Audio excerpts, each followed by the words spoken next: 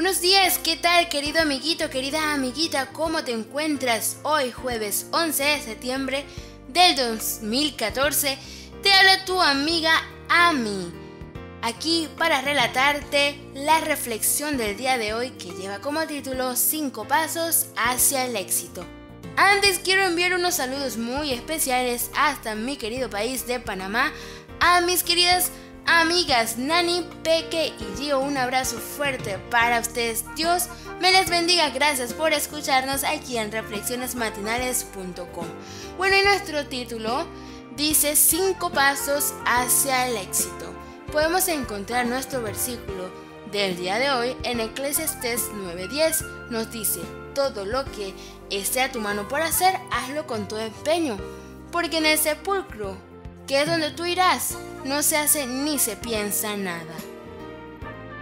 Decidir lo que vas a hacer cuando crezca no estaría fácil. Ya tengas 10 o más años. Demasiadas personas tienen que tomar una decisión más de una vez en sus vidas. De hecho, las personas promedios cambian de empleo unas 5 veces durante toda su vida laboral, así que no te preocupes si cambias de idea de manera frecuente. Es normal, la mayor parte de la gente lo hace. Unos ejemplos, Moisés se preparó para ser faraón, pero se convirtió en un pastor de ovejas y en un dirigente. También en un organizador de multitudes, en juez, en escritor. ¿Recuerdan a Pablo el apóstol, el estudiante, el filósofo, el fabricante de tiendas, el predicador y a Pablo el escritor? Bueno, Pablo y Moisés permitieron que Dios los dirigiera y dieron lo mejor de sí. Quizás esos fueron los más importantes logros que podemos reconocer de ellos. Otra enseñanza que muchos aprenden demasiado tarde en sus vidas es que abre puertas, no las cierres.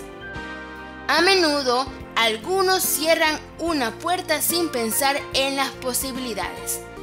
Quizás un alumno decide que las matemáticas son demasiado difíciles debido a una baja calificación que recibió en esa prueba. Bank. Una puerta que se cierra para más del 50% de las mejores carreras. ¿Te convenciste de que odias la literatura? Bank.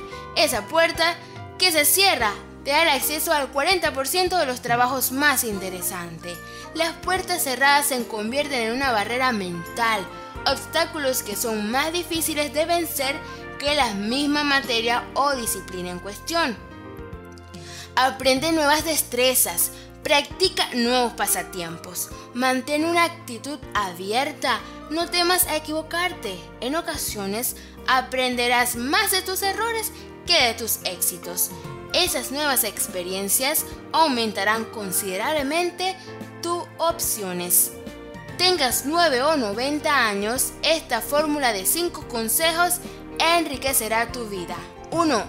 Identifica tus talentos naturales y utilízalos.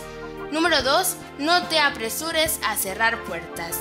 Lo que no interesa hoy podría motivarte mañana. 3. Abre las puertas a posibilidades que no has considerado anteriormente.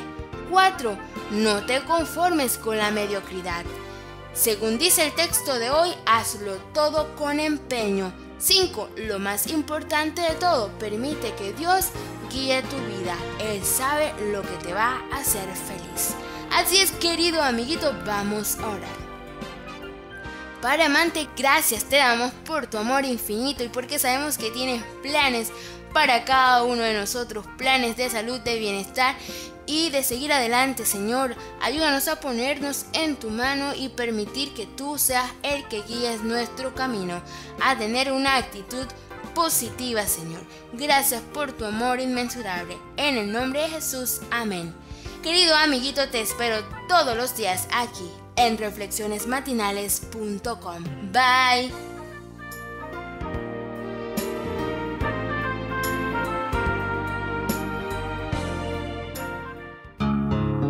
Reflexiones matinales. Dios te bendiga.